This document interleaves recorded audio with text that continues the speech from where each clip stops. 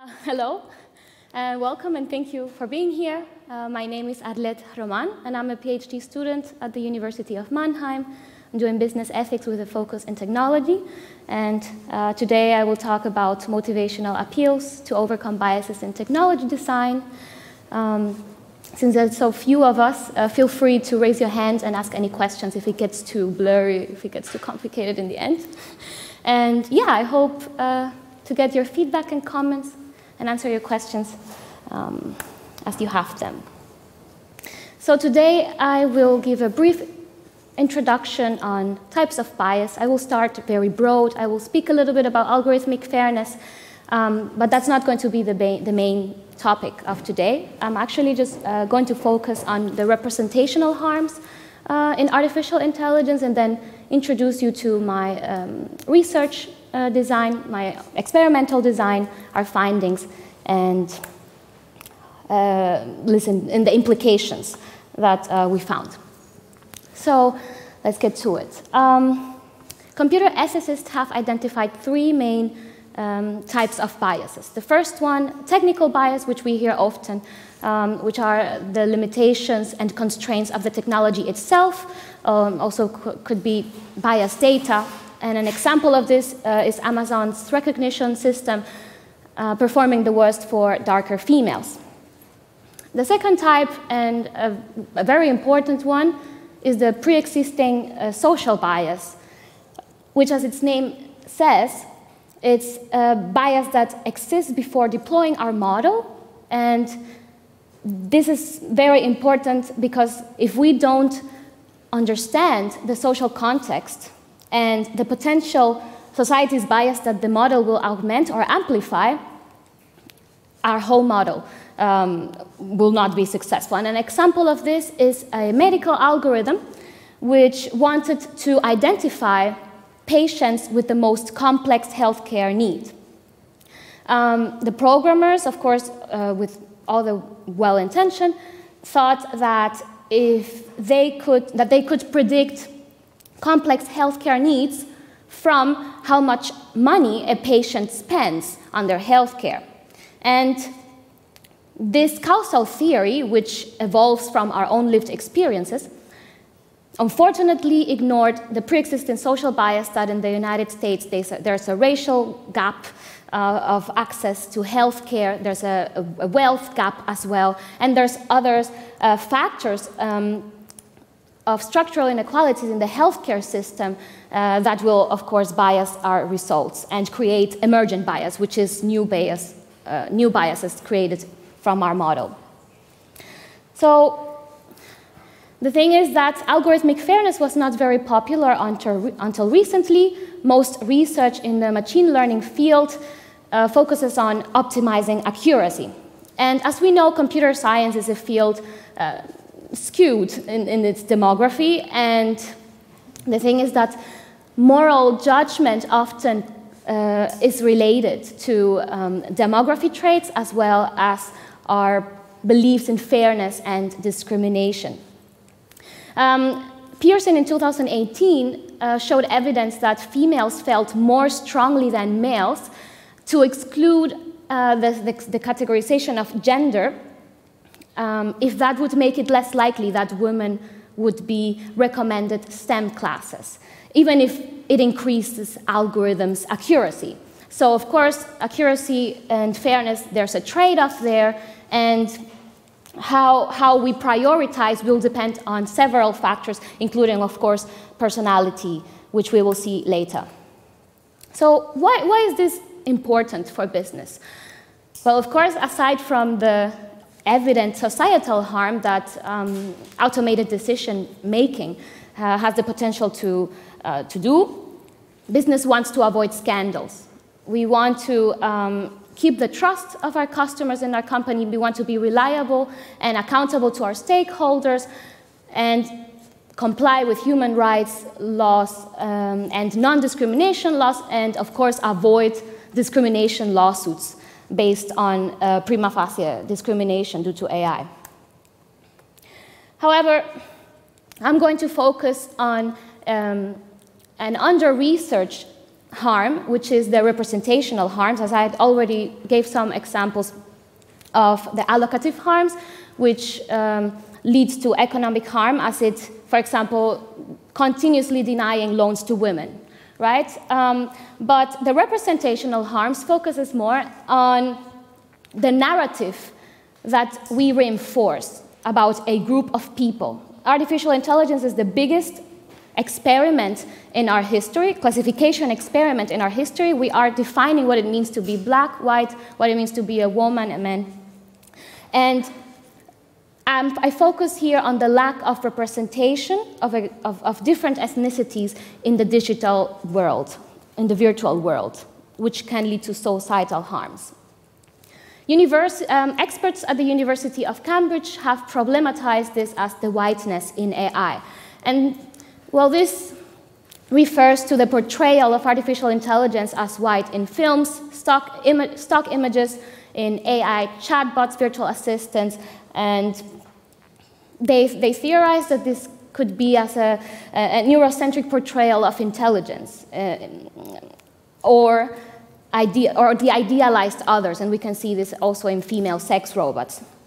So this raises the question of how will the future of race and gender develop in the, sub, in the subsequent autonomous stage of general AI?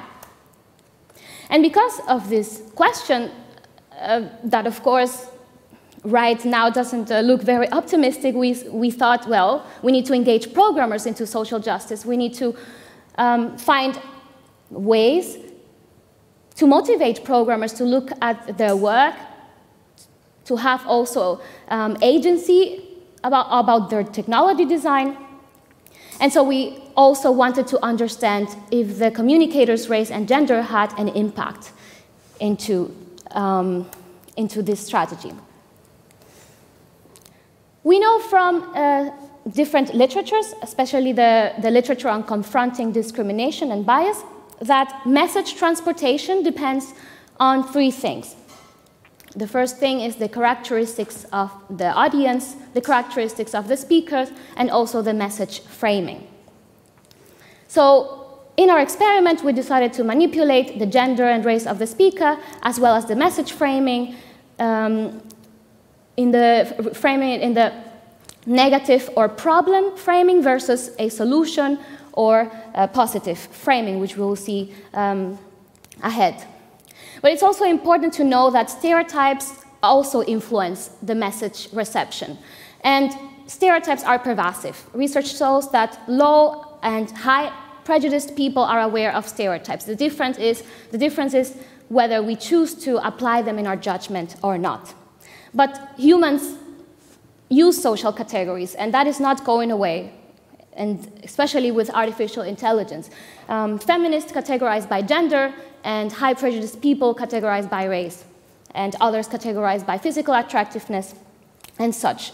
So it's only natural, um, and stereotypes are also inevitable when we meet someone from an outgroup member, unless we have a goal to be egalitarian. And this goal to be egalitarian, uh, or, or colorblind, we can say, is automatically activated when we see, uh, when these persons meet someone from the outgroup member. So this stereotype activation is what we measure in our experiment, as I will show you in a, in a bit. And we do this through an implicit measure.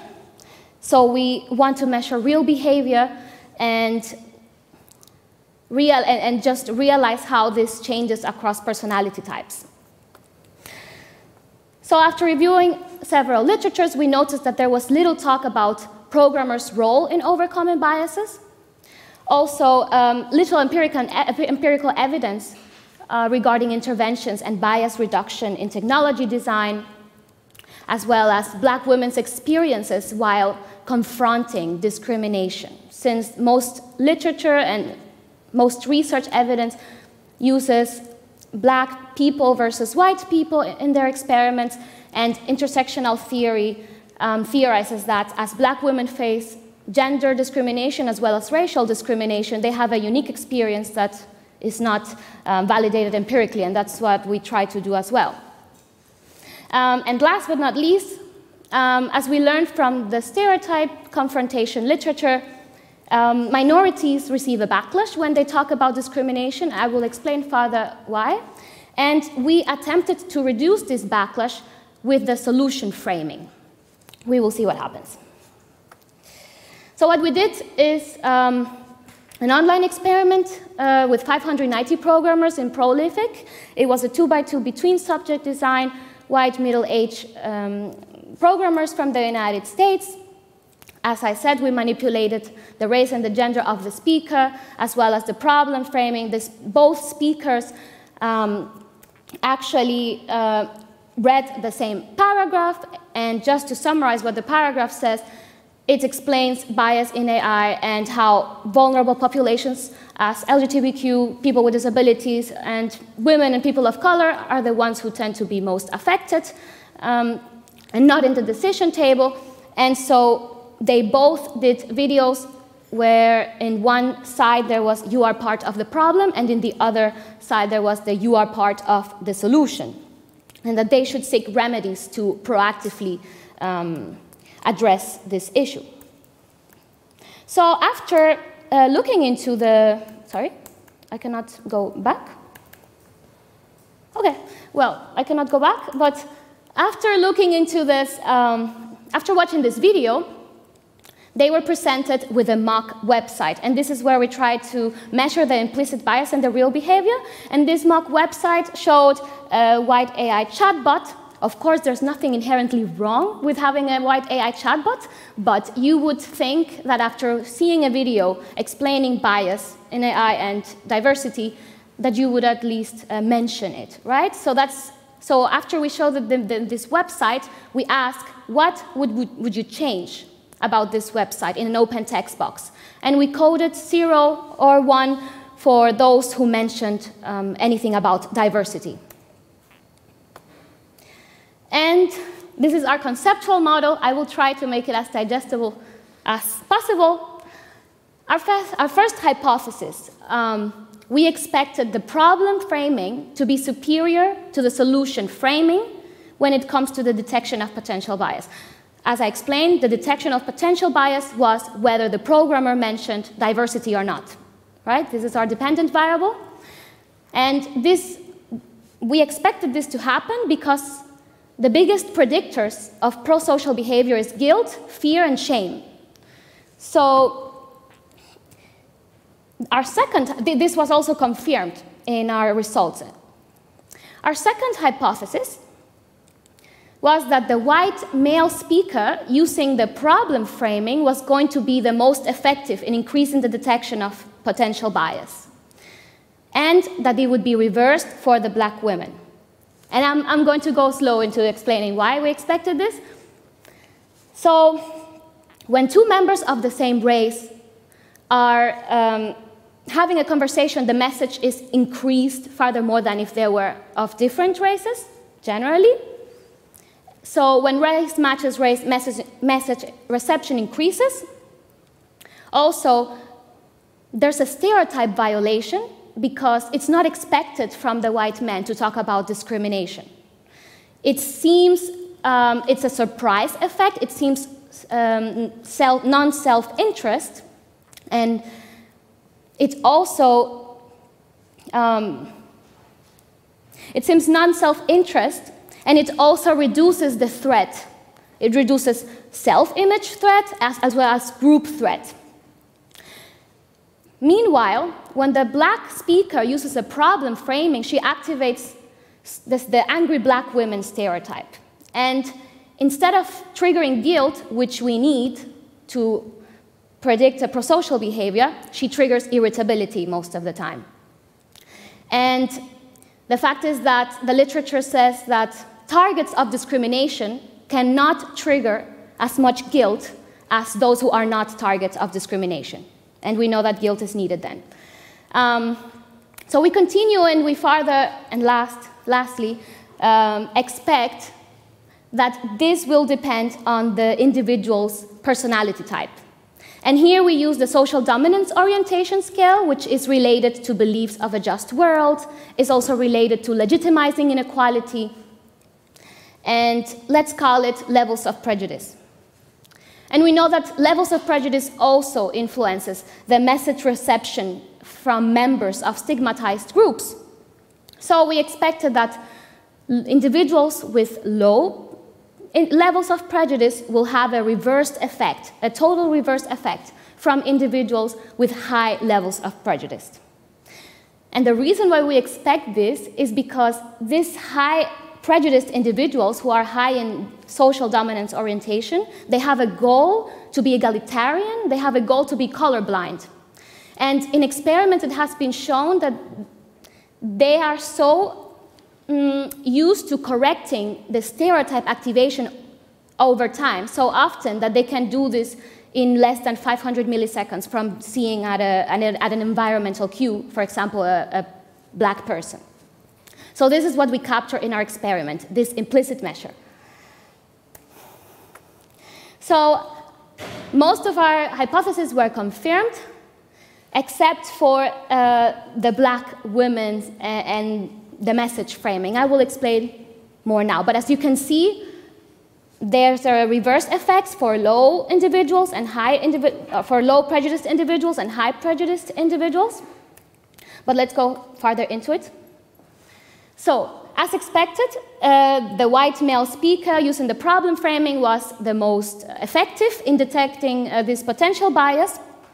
However, as we see here, it was not successful for the black women. And doesn't matter if she uses the problem framing, doesn't matter if she uses the, the solution framing, she still um, gets this backlash for talking about discrimination. So this can tell us something about tone policy in black women. It really doesn't matter so much if she says it in a positive way, if it's in a negative way, it's just that, well, the literature also says that as is a stereotype confirmation, it's expected for minorities to talk about discrimination. So the message scrutiny is reduced.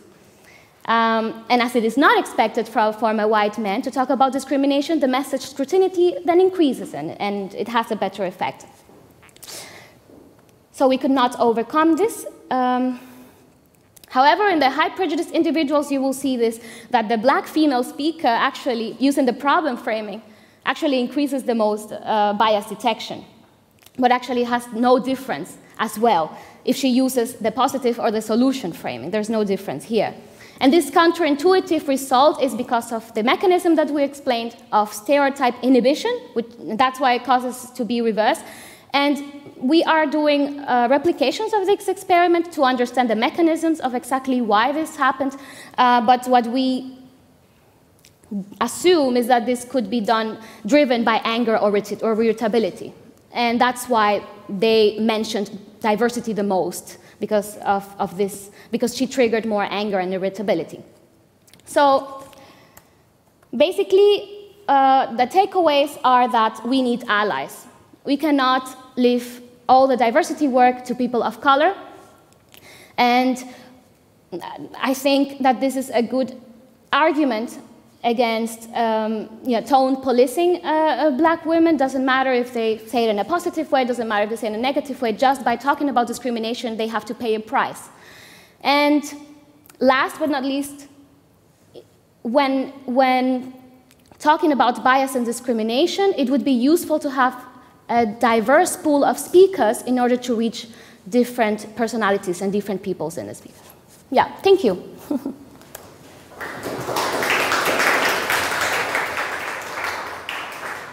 Okay, so if there's any questions.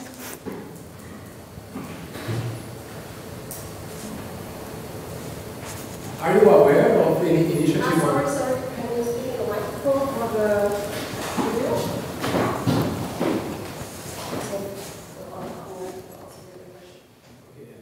For the presentation, uh, my question is: Are you aware about of any initiative um, business oriented or not, that are employing such techniques to diminish bias with AI? Thanks. Yeah, actually, I'm not aware. I'm not aware. Um, I'm aware, well, of, yeah, there are some. There are some guidance into how to talk uh, to, to an outgroup member audience about discrimination, uh, but I have not seen the manipulation of, of the message. Yeah. All right. Okay. Good. Then, okay.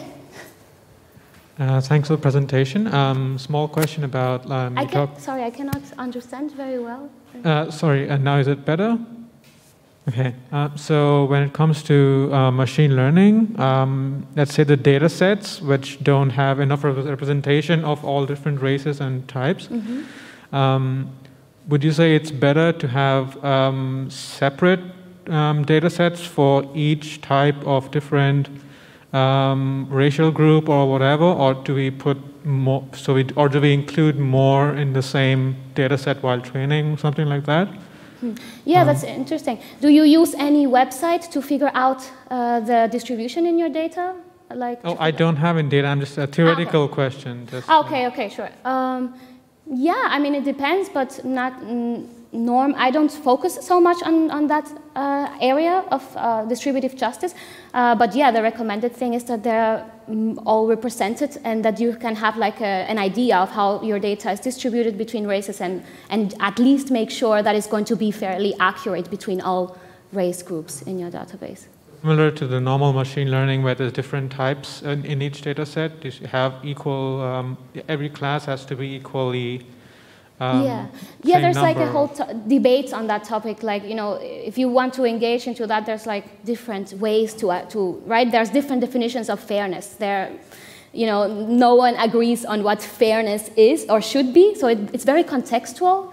Um, uh, but yeah, I would say that it's very contextual and depends. Thanks. Okay.